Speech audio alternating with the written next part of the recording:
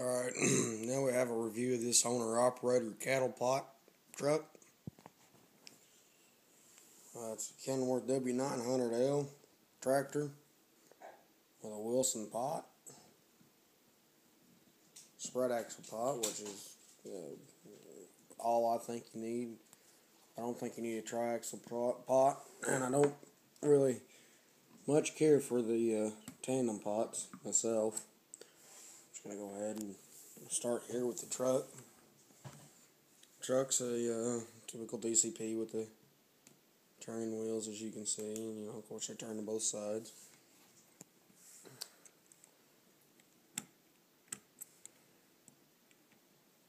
Not so much, not very well of a working suspension. Hood does open. It is a Cummins engine. You got uh, no lights on this one on the bumper. You got turn signals and of course all that stuff right there. There's not a whole lot you can cover with these these trucks. Um, this is the only Kenworth flat top that I have at the time. It's a 60 inch, if I'm not mistaken, because it, it's not the uh, aero cab setup. It's uh, straight. Uh, in my opinion, was right because I'm a Peterbilt man myself. But the W900L, of course, any Peterbilt guy can stand a W9L. Um, more especially me, I like the older looks.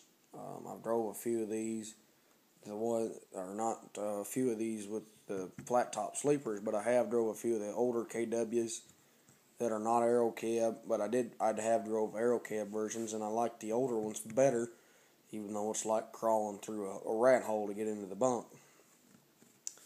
This version does not have a window; it has doors which I like a lot better. I like the doors and it has a very nice rivet set up.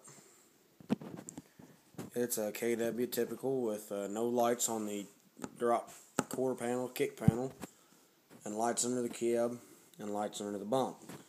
This one has a painted step or painted tank, tri rib tank, which is an option on a Kenworth.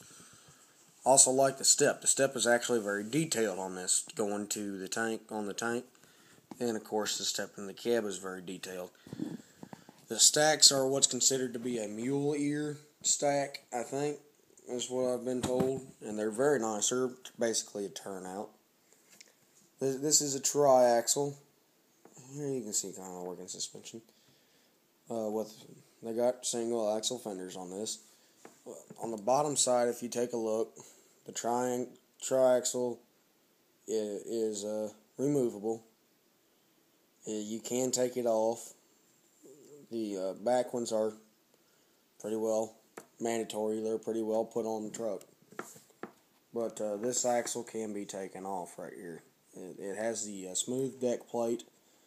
Uh, the one complaint I have with uh, this DCP truck and any triaxle truck other than the heavy haulers that they set up have set up with the very long diamond plating deal, is that there is no way to get onto the catwalk. There is no way to, to achieve being on the catwalk. It's got a nice catwalk, deep, you know, they're smooth, all except for the bolts. Bolts that hold it in. There are no bolts on a deck plate. Deck plates are held down by four clamps that you put a nut on the bottom, and when it sucks up, it sucks to the frame. There's one bolt on top, there's a bolt on the top, and it's got the nut on the bottom, and it's got this little clamp that they give you from the factory or whatnot, and it there's four bolts, and it just clamps to the frame, basically, is what it does. There's not bolts in rows like this. That's more or less just for show. This version, unlike uh, the 379s, I've been told, uh, it does have brake lights and reverse lights on the back. And you can see your brake cans and such from this angle. Alright, now we're going to move on to the cattle pot. There's not much you can say about this Silver Star. You know, uh, detailed front. There is no name, which that's great.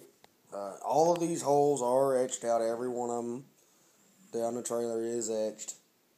These, what you would see would be doors, are not openable. They do not open. Like I said, this one is a spread. Now, this with the chrome back here. Uh, you got to be careful with it. It does roll up. It is a roll up door. It does provide you with this view right here into the trailer. And you can see a gate down yonder. And plus the wall right there and wall right there. These doors will get off track if you push them too far. As you can see, this one's almost there. You just kind of got to be careful with it and roll it back down, which I will do off camera because I don't want mine to break. I almost broke it today, I got it, checking it out. But you have lights across the top up here, one light, one light, and then there's a light towards the outside here, light towards the outside over here. You got your brake lights and such. A lot of people ask or, or make a complaint that this is not realistic. That this right here, with only the guard or what you want to call it over the left side lights, is not real. There should be a guard on both lights. Well, there's not a guard on both lights because you only back up to a chute on your driver's side. So why have a protector on the rider's side when it's never going to be in trouble? That's the logic behind that. That is a Wilson thing, not a DCP thing. As I've been around these. And that's the way they are truly set. And this one's uh, this is pretty much just it. That's that's the cattle pot and that's the truck.